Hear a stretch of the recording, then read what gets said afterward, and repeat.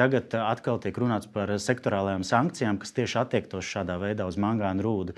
Ja šobrīd faktiski darbs ir sācies, prognozēt, kurā brīdī viņš beigsies, tas ir 27 valsts lēmums. Tas nozīmē, ka visiem 27 ir jāpiekrīt šim.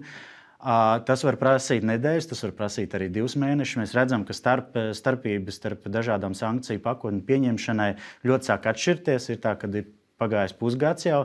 Es ceru, ka nē, ka šajā gadījumā mēs runājam par, par vairākām nedēļām, mēnešiem, un uh, Eiropas Savienībā to var panākt. Es domāju, tas, kas ir jādara, arī jādomā, ko iekšēji mēs varam nacionāli darīt. Es domāju, ka tādas idejas arī tiks izteikts, bet, protams, Eiropas Savienībā iekļaujot, tas ir vienkāršākais risinājums, kā ātri, efektīvi panākt to, ka tā ir arī ne tikai Latvija, bet visa Eiropas Savienība. Tā kā tas darbs notiks. Jā. Vai Eiropā ir kaut kāda viedokļa, kāpēc mēs esam palaiduši garām šo te mangāna rūdas jautājumu?